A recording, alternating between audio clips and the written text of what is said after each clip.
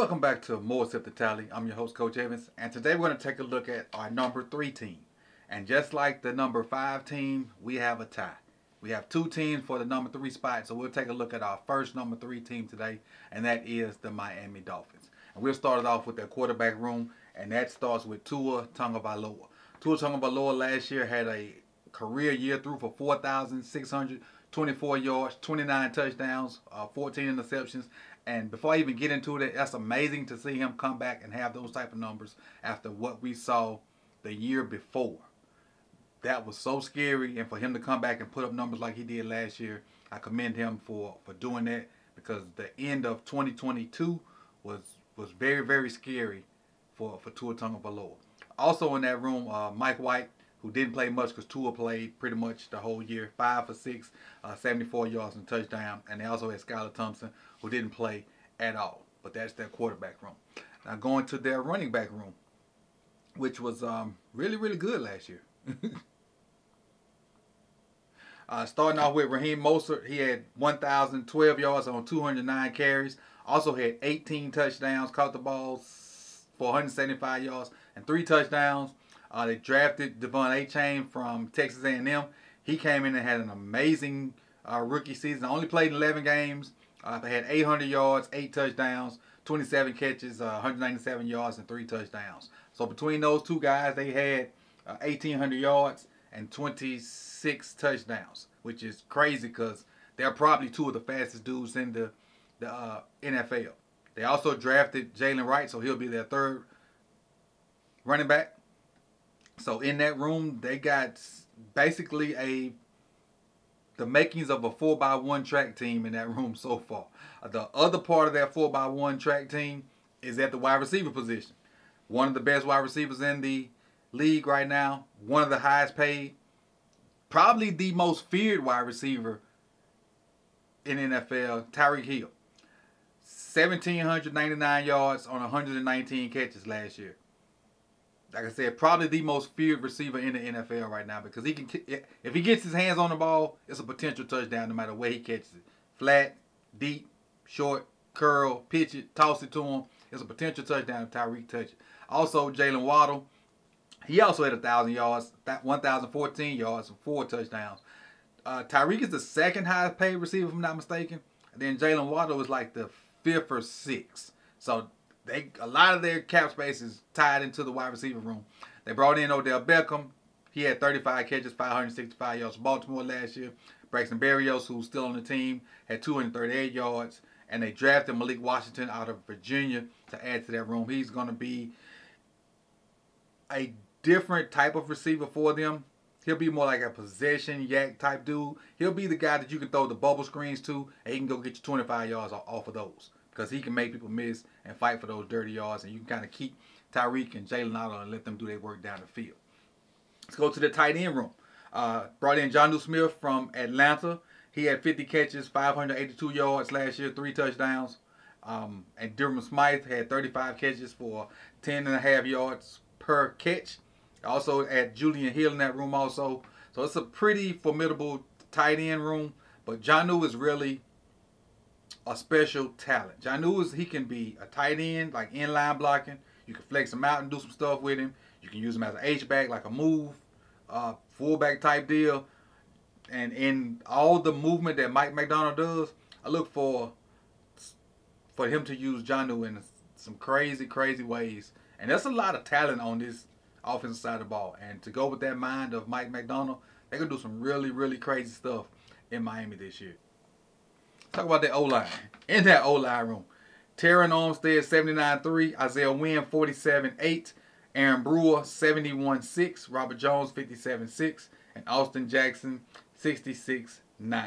Um, Terron has been a guy for a long time. The rest of those guys, they have work to do up front.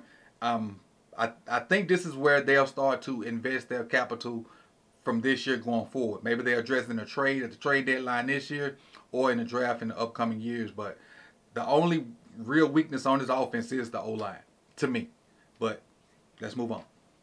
Let's pop on over to the defensive side, um, which is the side that's really got me puzzled right now, mainly because of injury. But let's start with the, the defensive line. They they try to be a three four team. So let's talk about the guys up front.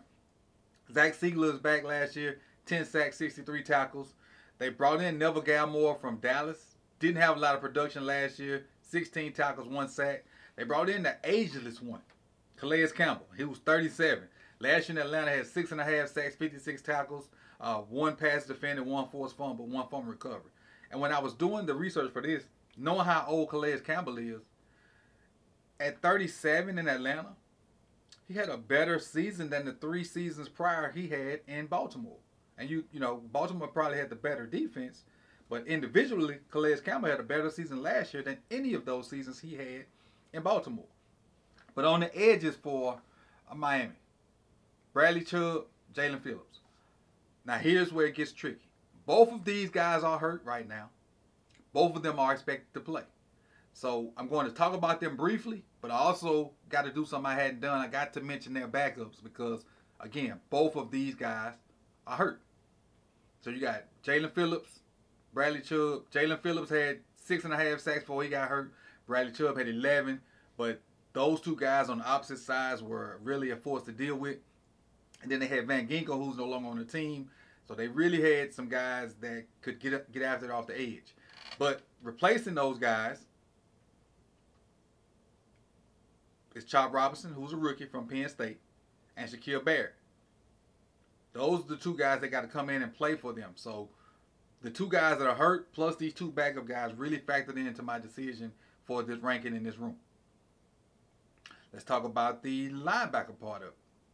Anthony Walker Jr., Jordyn Brooks. Anthony Walker Jr. came in from Cleveland, if I'm not mistaken, uh, 44 tackles. And then Jordyn Brooks came over from Seattle last year. Jordyn Brooks and um, uh, the Mike linebacker for Miami last year, they basically just swapped teams. I can't think of his name right now, but they basically just swapped teams. So now Jordyn Brooks is in Miami, 111 tackles, four and a half sacks, eight TFLs, four passes defended. Jordyn Brooks is probably one of the faster, if not the fastest linebacker in the league right now. Uh, he just has to harness some of that speed and be more disciplined, which is one of the reasons why I think he's not in Seattle anymore. Let's go to their cornerback room. Cornerbacks. One of the best to ever do it. Been doing it for a long time. That's Jalen Ramsey. Uh, 22 tackles last year, five passes defended, three interceptions. Just when you think that, you know, he's falling off, he'll jump back up and do something spectacular. Um, with Anthony Weaver being the new DC, um, it'll be interesting to see how they employ Jalen Ramsey because he don't just have to be an outside corner. He's so athletic; he can be outside, he can be slot, uh, and I can see Jalen transitioning to safety, you know, soon because he he'll be 30 soon. I can see him transitioning to safety for the second half of his career, and and be real good at it. Uh, Kendall Fuller they brought in from Washington last year, 79 tackles, two interceptions, uh, nine passes defended, and Kader Kohou will be that nickel back. He had 10 passes defended with no interceptions last year and 63 tackles. That's that cornerback room. And moving over to safety, they got Jevon Holland, who's one of the, the, the young up-and-coming safeties in the league. 74 tackles last year, four passes defended, one interception. And they brought in the old vet, um, Jordan Poyer. Finally messing up the light-skinned brothers with Micah Hyde up there in Buffalo. I ain't to use that joke I had. But uh, Jevon Holland and, and Jordan Poyer is a good safety room combined. Uh, Jordan Poyer had 100 tackles last year, four passes defended also, but didn't have an interception. So, you know, their defense, the secondary straight. Linebackers, they got to work together. Both of them are new. Their edge is where the issue is because their two best edges are hurt. So they got to rely on an older guy and a rookie to get, get in there and make some noise. And um, Calais Campbell is Oh, but let's look at each uh, position room ranking and see what we have them so we can go from there. Uh, their quarterback room, I have 15. Running back room, first. Wide receiver room, first. Tight ends, 27. O-line, 14. Defensive line edge, 13. And that's factoring in two guys that's to come back, plus them two rookies. Well, not the two rookies, the two new players. Um, linebackers, 15. Cornerbacks, 10. And safeties, 10. Add them all together, divide them, you get 11.7778. And that is our first, well, actually, it's a tie for number three. So that's, that's our first number three team. Um, we're going to do the second one tomorrow. let's take a look at the Dolphins draft picks and see how they fit into the team. Now let's talk about their draft choices. So Chop Robinson they drafted, you know, first. He'll probably be in the rotation with with those guys up front, especially with the two main guys being hurt. So he'll get a chance to play early and often. Patrick Paul could get into this offensive line. Um, if he moves in the guard, he definitely could could get in and play some offensive line with um, Robert Jones and Isaiah Wynn getting that competition. Uh, Jaylen Wright, we talked about, is going to be the third running back. We talked about him earlier. Mohamed Kamara from Colorado State could definitely be in the rotation with Chop Robinson. So you got two rookies that'll be in that, that edge rotation until your veterans come back. Malik Washington, a wide receiver from Virginia that I mentioned earlier, that's a, a big time YAC guy, throwing some screens, throwing some drag routes, and he can make the, the rest happen. Patrick McMorris, a DB from California. It's going to be tough to get in that rotation unless somebody gets hurt. And then Taj Washington, wide receiver from USC. Uh, just a an extra guy to put in that room, but it's going to be hard for him to crack that wide receiver rotation because they got some dudes up there. And that is your Miami Dolphins. The first number three team on the More Sip2Tally Countdown will be here tomorrow with the second one. And uh, if you have not liked the video, please do so. Hit the subscribe button if you like the content and hit the bell so you can be notified when the rest of these videos drop. We're almost there. We're almost there. We got our second number three team. Then we got number two. Then we got number one. Close. We're almost there. I appreciate you guys for coming out. You could have been anywhere in the world, but you chose to be here with me. Peace.